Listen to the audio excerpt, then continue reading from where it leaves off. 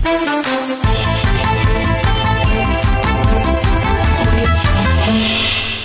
Vítám vás u podcastu, kde si s Lenkou Zlámalovou povídáme o ekonomických tématech. Ahoj Lenko. Ahoj Jardo.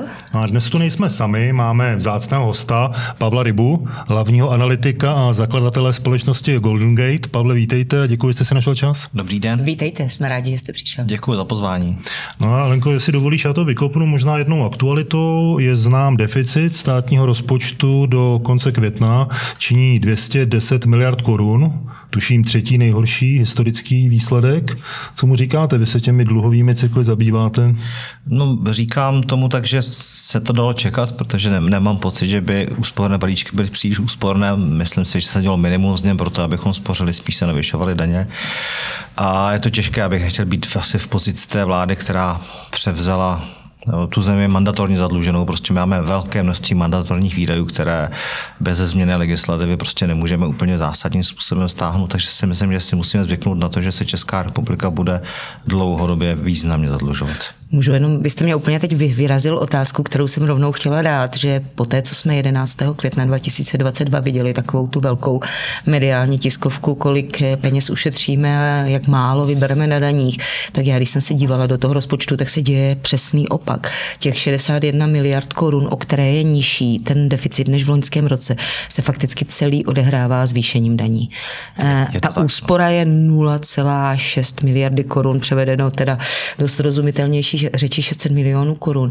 A vy mluvíte o mandatorních výdajích, to je naprosto správné. To už, když Jarda pracoval na financích, bylo k 80%. Ale my tam hlavně přidáváme, nejen to, co máme. Já jsem třeba teda zděšená vývojem dávky, která se jmenuje příspěvek na bydlení. Jo. To je úplně jako novinka. To je mandatorní výdaj, který jsme si znovu, znovu na sebe sami vymysleli. A ten jako roste, přestože ceny energii už začaly klesat. Ale zjevně spousta lidí, hlavně ve velkých městech, si řekla, proč nebydlet v lepším bytě na úkor státu. A pak ještě jedna věc, která mě tam jako naprosto fascinuje. My máme rekordně nízkou nezaměstnanost a stoupají výdaje na podpory v nezaměstnanosti. A to už teda, tam už jako logický a ekonomický úsudek úplně kulhá. E, a vůbec celá ta oblast těch sociálních dávek. E, díval jste se i tady na tohle? Máte z toho nějaký ten, vy to vždycky umíte hezky zasadit do těch dlouhodobých trendů, jako Přece to se ještě zhoršuje, to není jenom špatné. Já, já odpovím možná přesně, krátce, výstižně, blíží se volby. A ty jsou pořád. No ale teď, teď je potřeba už začít opravdu jako si koupit toho voliče. No ale on se kupoval od roku 21 pořád. No. V čem je ta změna? No, no tak změnu nemůžeme očekávat, protože je, pot, protože je potřeba usilovat o to, aby byl dobrý volební výsledek. Jinak samozřejmě je to, velmi, je to velký problém a když bychom to vzali zase historicky, aby jsme teda pracovali s těma cyklama dlouhovými a podobně, charakteristikou těch společností, které už jsou za tím bodem zlomu nějakého velkého růstu a nějaké udržitelnosti, je to, že že nabírají spoustu nákladů v sociální sféře, v sociální oblasti, protože eh, je potřeba prostě eh, udržet ten lid eh, v dobré kondici, aby se nebouřil, aby nešel do ulic, tak prostě je to, je to charakteristika, ať se podívá na starý Řím, ať se podíváme na veškeré mocnosti, které už byly za bodem toho svého rozvoje nebo na vrcholu toho svého rozvoje, tak začaly stoupat hlavně sociální výdaje. My se bavíte o chléb a hry. A to, chléb a hry. Tak a to mluvíte jenom o České republice nebo o celé Evropě nebo o celém západním světě? Je, je, to, je to charakteristika i celé Evropy a v podstatě asi i celého západního světa. Když se podíváme na Spojené státy americké, tak eh, tam ten trend je podobný. Možná ještě k tomu zadlužování, je tam jeden moment, většina ekonomů začíná argumentovat, těch, co to vidí pozitivněji, že jsme stále jednou z nejméně zadlužených zemí v Evropě, absolutně ale zároveň myslím, že jsme zcela na prvním místě v rychlosti toho zadlužování, že ten trend je v tuhle chvíli asi nezastavitelný. Vy jste zmínil volby, ale obávám se, že ani po volbách, kdy už nebude potřeba možná některých populistických rozhodnutí, tak se tento trend nezmění. On se nezmění ten trend, protože nejspíš volby vyhrajou jednak populisté, takže proč by měnili svoji uh, taktiku, která dobře funguje. Kdo jsou to populisté v českém systému? já nevidím stranu, která by nevedla populistickou. No tak právě proto vám tu otázku dávám, jo. takže odpovídám úplně přesně. a teď lehce jsem to, lehce jsem to jenom ztratil, to tu nic, co jsem tam rozvíjel. No, že jo, jo, že, nejrychleji takže, takže, nebudu měnit to, co jim funguje, že v té, v té politice a pak popravdě řečeno, eh, ten náš rozpočet toho ještě opravdu může vydržet hodně, protože je nominálně relativně nízký a vzhledem k HDP velmi nízký. A tady se možná dovolím jako cvičení, které, o kterém se vůbec nemluví a myslím si, že by se o něm mělo mluvit. Eh, většinou ty vlády se snaží udržet zadlužení vzhledem k HDP na nějaké úrovni, která potom zajišťuje to, že je to obsluhovatelné nebo zvládnutelné. A my jsme zažili ohromnou inflaci, která byla dvouciferná poměrně dlouhé období. A Nominální HDP je to, které je v, v těch reálných cenách. To znamená, když mi inflace vyroste o 30%, tak nominální HDP je také o 30% vyšší. Že my ho samozřejmě očišťujeme to reálně, to bylo nízké, že jsme rostli okolo procenta, procenta a půl dvou, takže nic velkého.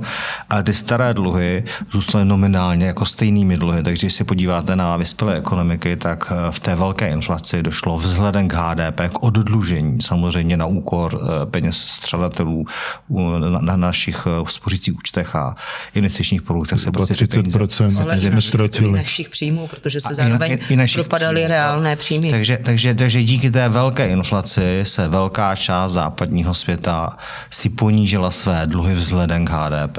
Nominálně samozřejmě narostly, takže jsou pro ně udržitelnější. Takže i proto si myslím, že ta zvýšená inflace, která nás pravděpodobně čeká, jim bude nahrávat těm vládám k tomu, aby ty dluhy zůstaly dále udržitelnější. Já bych jenom ještě se zeptala na jednu věc, která s tím souvisí. On eh, není ještě větší vlastně problém, eh, že ty dluhy se zvětšují i proto, nebo se neřeší i proto, že vlastně zažíváme ekonomickou stagnaci nebo velmi slabé růsty dlouhodobě a samozřejmě úplně jinak se vybabrávám z dluhů a můžu je dokonce nazvat do značné míry investicemi do příští prosperity. Ale není ten hlavní problém celých těch západních společností tím, že se strašně málo mluví o tvorbě bohatství. Pořád se jenom jako bavíme o tom, jak to utratíme, jak to přerozdělíme, komu to dáme. To je, jak kdybyste prostě jenom řešil, že máte pořád jeden příjem, ale co si budete koupit. Ale vůbec jako neřešíte, kde ty peníze vezmete.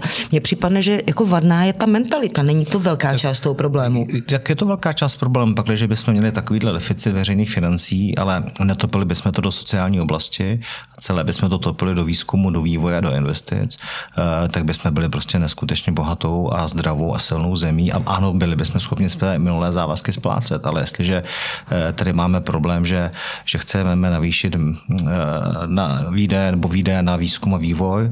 Ten máme i nového ministra, který, který za to odpovídá a nemůže získat téměř žádné peníze navíc, protože není kde brát a přitom tady rostou ty sociální dávky na bydlení a podobně. Tak to je ten ohromný problém. Já, já s radostí budu půl miliardový deficit, eh, půl bilionový, pardon, když to všechno půjde do vědy, výzkumu, vývoje. A hlavně pokud mě pojede ekonomika růstem no, 10%, tak ty dluhy na téhle tím, úrovni vlastně tím, vůbec tím, nebudu řešit.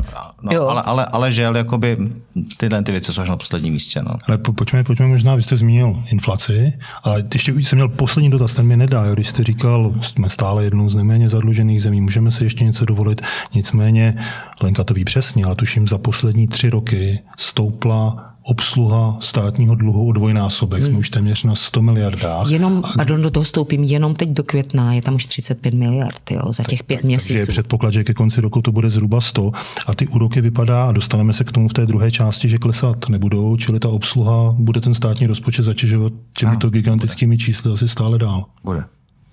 No a ta inflace, vy jste zmínil, že nejsme úplně na konci, většina ekonomů prezentovala ty lednový především, to bylo určité uklidnění, čísla, ty následní, které se pomalu blíží tomu inflačnímu cíli 2%, a teď samozřejmě je zřejmé, že těch 30% už můžeme asi odmazat, tam se nevrátíme, ale vy asi optimista teda příliš velký z toho, co jsem slyšel, nejste, že by se ta inflace nadále dokázala držet na té úrovni, kterou si stanovila Česká národní banka, tedy 2%. Je mnoho důvodů, proč si myslím, že k tomu tak nebude. nebude. Eh, jednak se nám změnila struktura ekonomiky a nejenom té evropské, ale celosvětové. Máme tedy demografický problém, prostě demograficky Evropa a v zásadě i Čína prostě vymírá. Čína má ohromný problém politiky jednoho dítěte, který je dobíhá o těch x generací později, v důsledku čehož už nebude tak levná pracovní síla. Takže mzdové náklady rostou extrémním způsobem. Teď, když vyšla tento týden eh, statistika o průměrném mzdě, tak eh, zase opět vyrostla. A takže ty mzdové nátlaky budou, nátlaky budou uhromné. Díky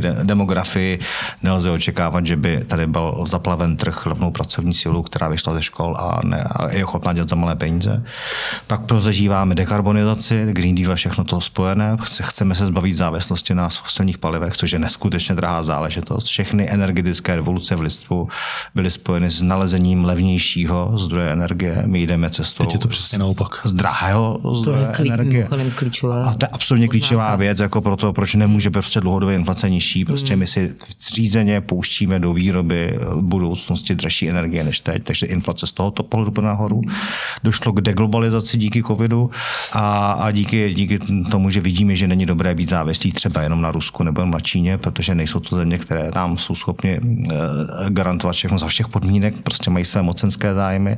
Tak v momentě, v momentě, kdy eh, jsme tehdy globalizovali svět, tak jsme to z toho těžili eh, optimalizací nákladů a nízkými zboží, cenami zboží a produktů celosvětově vyráběných. Teď je to deglobalizováno, takže ano, začíná se výroba vracet do zemí s dražší pracovní silou, zvýšíme náklady, takže ano, to bude další jako nátlak na, na to, protože bude inflace dlouhodobě vyšší.